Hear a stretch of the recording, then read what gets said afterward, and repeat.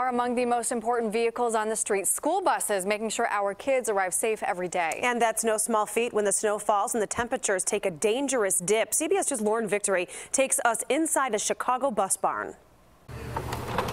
When temperatures plunge, my day usually starts around 4:30. Anthony Gardunio's amount of sleep drops too. We were here about 2:30 in the morning to make sure that all the buses were on. We might need to spend the night this week because of our likely record breaking forecast. Gardunio cares for 78 Chicago Public School kid carrying buses as the maintenance director at United Quick Transportation. Anything that's rubber, uh, it's affected a lot by the cold uh, because it gets real stiff and uh, easy, it breaks easier.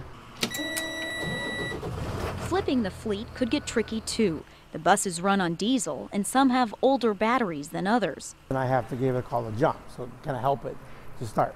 Uh, uh, and usually, if the, the bus is, is, is turns on right away, it'll take me five minutes. If not, it can take me up to a half hour. These buses have no insulation, it's just straight metal and glass. Meaning the toasty task of making it warm enough inside for those young passengers could take hours today and tomorrow. That, of course, is a constant battle with an extremely cold blast every time the door opens. The men and women behind the wheel risk getting sick, but their grit and dedication. Do you like your bus driver? Mm-hmm. Doesn't go unnoticed. He loves her. The first day he met her, he was he met, he loves his bus driver. Their job is underappreciated.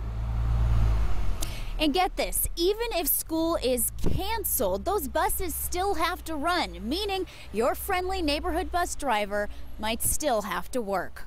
I'm Lauren Victory reporting for CBS 2 News. Bus mechanics say they also need to closely monitor antifreeze and oil during dangerous cold snaps. This will affect how easy the buses turn on and warm up.